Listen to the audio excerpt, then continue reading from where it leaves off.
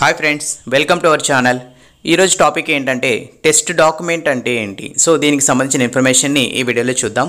అలాగే test scenarios అంటే ఏంటి? సో టెస్ట్ కేసెస్ ఏ విధంగా రాస్తారు? సో వీటికి మధ్య డిఫరెన్స్ ఏంటి అనేది ఈ వీడియోలో చూద్దాము.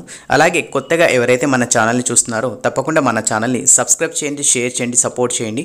మీ సపోర్ట్ ఎప్పుడుందని మనస్ఫూర్తిగా కోరుకుంటున్నాను.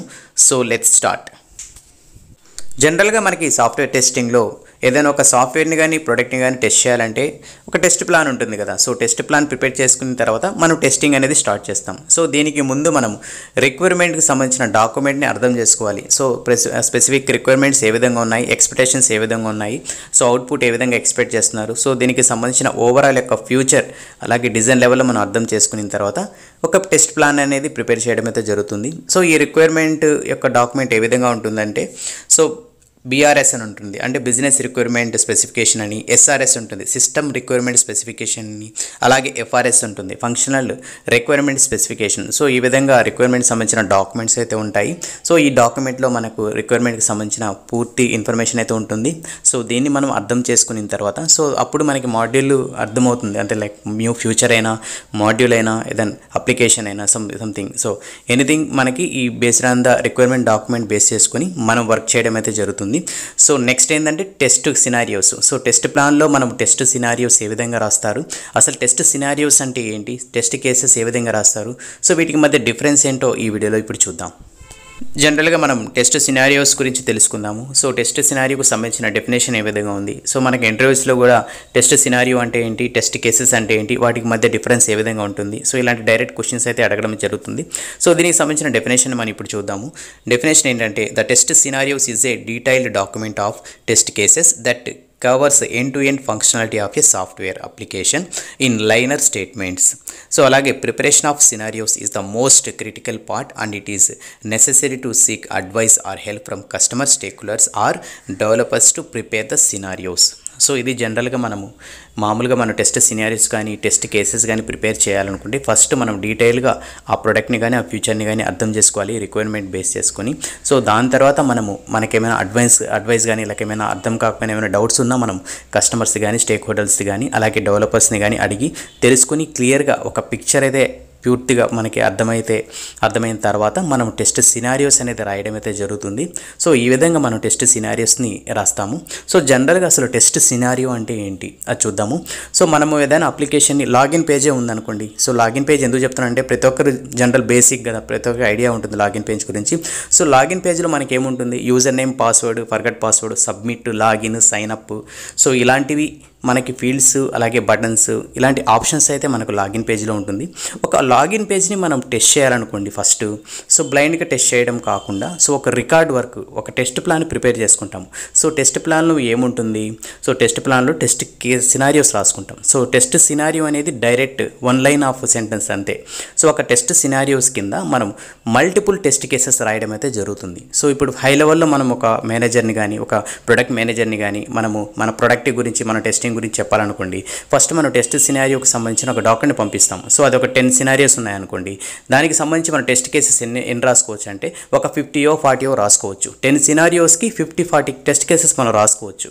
సో ఆ విధంగా సో మొత్తం వాళ్ళు వెరిఫై చేయడం కూడా కష్టం కదా. సో ఎవరైనా ఒక ఫైవ్ సిక్స్ లైన్స్ చదివితే చాలే ఇంకా వీళ్ళు ఏ విధంగా రాశారు ఏ విధంగా టెస్ట్ చేయగలుగుతున్నారు వీళ్ళ థాట్ ఏ విధంగా అనేది మనకు అర్థమైపోద్ది హై లెవెల్లో. సో అందుకని ఫస్ట్ మనం టెస్ట్ సినారియోస్ రాసుకుంటాం. సో టెస్ట్ సినారియో ఏ విధంగా ఉంటుంది login పేజ్కి. So test user able to login or not. So test the login page అది ఒక సినారియో అంతే. టెస్ట్ ద లాగిన్ పేజ్ అన్నాడు అనుకోండి. సో లాగిన్ పేజ్లో ఎన్ని ఆప్షన్స్ ఉన్నాయి ఎన్ని ఫీల్డ్స్ ఉన్నాయి సో వాటికి సంబంధించి మనం రాసుకునేది టెస్ట్ కేసెస్. టెస్ట్ సినారియో ఏ విధంగా ఉండేది? లాగిన్ పేజ్ టెస్ట్ చేయండి అంటారు. సో లాగిన్ పేజ్ మనం టెస్ట్ చేయాలనుకుంటే ఏం చేస్తాము? వ్యాలిడ్ యూజర్స్తో ఇస్తాము ఇన్వాలిడ్ ఇస్తాము అలాగే ఫర్గట్ పాస్వర్డ్ కొడతాము ప్లెయిన్ పాస్వర్డ్ అలాగే మల్టిపుల్ కాంబినేషన్స్ ఈ విధంగా ట్రై చేస్తాం కదా. వీటిని టెస్ట్ కేసెస్ అంటారు. సో ఏ విధంగా ఎన్ని కాంబినేషన్లో మనం టెస్ట్ చేస్తున్నాము అనే ప్రాసెస్ని టెస్ట్ కేసెస్గా రాసుకుంటాము. సో డైరెక్ట్గా మనం ఒక సెంటెన్స్లో మనం దేన్ని టెస్ట్ చేస్తున్నాము అనేది సినారియో సో ఈ విధంగా మనం అర్థం చేసుకోవాలి? ఈ విధంగా మనం అర్థం చేసుకొని టెస్ట్ కేసెస్ని టెస్ట్ సినారియోస్ని రాయడం అయితే జరుగుతుంది. అలాగే ఇంకా మీకు కొంచెం డీటెయిల్గా చెప్పాలంటే ఈ డయాగ్రామ్ చూడండి. ఈ డయాగ్రామ్లో టెస్ట్ డాక్యుమెంట్ ఉంది. టెస్ట్ సినారియోస్ ఉన్నాయి. టెస్ట్ సినారియో కింద త్రీ టెస్ట్ కేసెస్ రాస్తున్నారు సో ఒక సినారియో కింద టీ త్రీ టెస్ట్ కేసెస్ అయితే నేను మెన్షన్ చేసిన డయాగ్రామ్లో సో జనరల్గా మనకి ఒక టెస్ట్ సినారియో కింద మల్టిపుల్ టెస్ట్ కేసెస్ రాసుకోవడం అయితే జరుగుతుంది. ఎందుకంటే ఒక అప్లికేషన్ టెస్ట్ చేసే ముందు అప్లికేషన్లో ఎన్ని ఆప్షన్స్ ఉన్నాయి ఎన్ని ఫ్యూచర్స్ ఉన్నాయి సో దాన్ని బేస్ చేసుకుని మన టెస్ట్ కేసెస్ అయితే రావడం అయితే జరుగుతుంది. సో జనరల్గా టెస్ట్ కేసెస్ కూడా ఒక లిమిట్ ఉంటుంది. ఇప్పుడు ఒక జస్ట్ ఒక లాగిన్ పేజ్ టెస్ట్ చేయాలనుకోండి టెన్ లేదా టెన్ లోపల చాలు లేకుంటే ఫిఫ్టీన్ లోపల చాలు. అంతేగాని ట్వంటీ థర్టీ రాయాల్సిన అవసరం లేదు. ఎందుకంటే అలా ఎక్కువ రాసుకుంటా పోయామనుకోండి అదే జస్ట్ చూడడానికి కూడా బాగుండదు. లైక్ చాలా సినారియోస్ కూడా మిస్ చేస్తారు. కొన్ని స్కిప్ చేసేస్తారు బద్ధకంతో. అందుకని లిమిట్గా రాసుకొని మంచిగా లైక్ రియల్ టైంలో కస్టమరు ఎలాంటి ఇష్యూస్ ఫేస్ చేస్తాడు. సో అలాంటి ఇష్యూస్ ఫేస్ చేయకుండా మనము యొక్క customer point of view think చేయాలి. అలాగే software engineer point of view కూడా థింక్ చేయాలి. సో ఈ విధంగా మనం థింక్ చేసి మంచి టెస్ట్ కేసెస్ రాసుకుంటే సో అవి టెస్ట్ చేయడం వల్ల మనకి ఇష్యూస్ ఫైండ్ ఫైల్ చేయడం అయితే జరుగుతుంది. సో ఈ విధంగా మనము టెస్ట్ కేసెస్ని రాసుకుంటాము టెస్ట్ సినారియోస్ కింద. అలాగే దీనికి సంబంధించిన ఒక జస్ట్ ఒక ఎగ్జాంపుల్ కొన్ని టెస్ట్ కేసెస్ ఉన్నాయి అవి కూడా చూపిస్తాను. సో ఒక లాగిన్ పేజ్కి మనం టెస్ట్ కేసెస్ని ఏ విధంగా రాస్తారు? విత్ ఎగ్జాంపుల్స్ చూద్దాము. సో దాని యొక్క సెంటెన్స్ ఫార్మాట్ కూడా మీకు అర్థమైతే చాలా మంచిది కదా. సో ఈ విధంగా రాయాలి అని ఒక ఐడియా అయితే వస్తుంది. ఇక్కడ మన టెస్ట్ కేసెస్ గురించి చూసుకుంటే ఫస్ట్ టెస్ట్ కేసు ఏ విధంగా ఉంది? Verify that login screen contains that element such as a username password sign in button remember password checkbox forget password link and create an account link so ఈ విధంగా మనం direct ఏవైతే buttons ఉన్నాయో available options ఉన్నాయో in login పేజ్లో అవి డైరెక్ట్గా mention చేశారు. సో ఈ విధంగా చెక్ చేసుకుని ఈ కేస్ ఈ కేస్ని పాస్ అయితే పాస్ అని ఫెయిల్ అయితే ఫెయిల్ అని ఫెయిల్ అయినప్పుడు ఏం చేస్తాము? బగ్ క్రియేట్ చేస్తాము. నెక్స్ట్ కేసు ఏ విధంగా ఉంది? Verify that the all the fields such as a user name password has a valid placeholder so ఈ విధంగా ఏదైతే మనకి యూజర్ నేమ్ పాస్వర్డ్ ఉంటుందో దానికి సంబంధించిన ఫీల్డ్స్ని కూడా కరెక్ట్గా ఉన్నాయా లేదా చెక్ చేసుకోవాలి. కరెక్ట్గా ఉంటే పాస్ చేయడం అలాగే ఫెయిల్ చేయడం చేస్తాము. Next question next test case ఏమిటి? Verify whether all the text boxes have minimum and maximum length so general మనకి టెక్స్ట్ బాక్సెస్ ఉంటాయి కదా. సో మనం ఒక లెంత్ అని మెయింటైన్ చేస్తాము. ఒక యూజర్ నేమ్ అనేది ఎయిట్ ఎయిట్ లెటర్స్గా మనము ఒక లిమిటేషన్ అయితే పెట్టుకుంటాము. సో దానికి సంబంధించిన లిమిటేషన్ కూడా మనం తెలుసుకోవాలి. పాస్వర్డ్లో కూడా కాంబినేషన్స్ ఉంటాయి మనకి.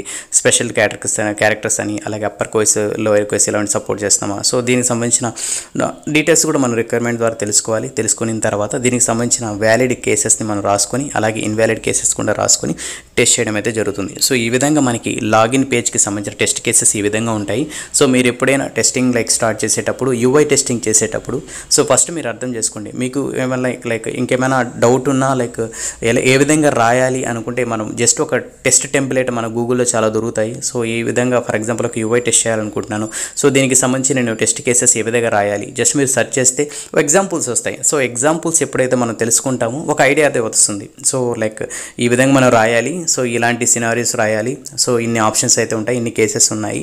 సో ఇలాంటి ఒక ఐడియా ఒక పిక్చర్ అయితే మీకు వచ్చింది అనుకోండి సో మీకు రియల్ టైంలో మీకున్న అప్లికేషన్ బేస్ చేసుకుని మీరు రా రాయడం అయితే జరుగుతుంది. సో వేరే వాళ్ళని డిస్టర్బ్ చేయకుండా సెల్ఫ్ ఎప్పుడు నేర్చుకుంటాము సో ఎక్కువ నేర్చుకోవడానికి స్కోప్ కూడా ఉంటుంది. సో ఈ విధంగా మీరు లెర్నింగ్ స్టార్ట్ చేయండి. సో మీ సైడ్ నుంచి కూడా పుష్ చేయండి హెల్ప్ కూడా తీసుకోండి. సో ఓవరాల్గా డాక్యుమెంట్ అయితే ప్రిపేర్ చేసుకుని టెస్టింగ్ అయితే చేయడం అయితే స్టార్ట్ చేయండి. సో ఎప్పుడైతే మనం ఈ విధంగా ప్రిపేర్ అవుతామో మనము లైక్ ఫ్యూచర్లో ఇంకేమైనా స్కిప్ చేయకుండా సో మర్చిపోకుండా మనకు ఒక రియల్ టైం ఒక లైక్ ఒక ఎక్స్పీరియన్స్ అనేది మనం గెయిన్ చేసుకోగలుగుతాము. సో ఈ విధంగా టెస్టింగ్ని చేయాలి. సో టెస్టింగ్ అనేది టెస్ట్ సినారీస్ ఈ విధంగా ఉంటాయి. టెస్ట్ కేసెస్ ఈ విధంగా రాసుకుంటాము.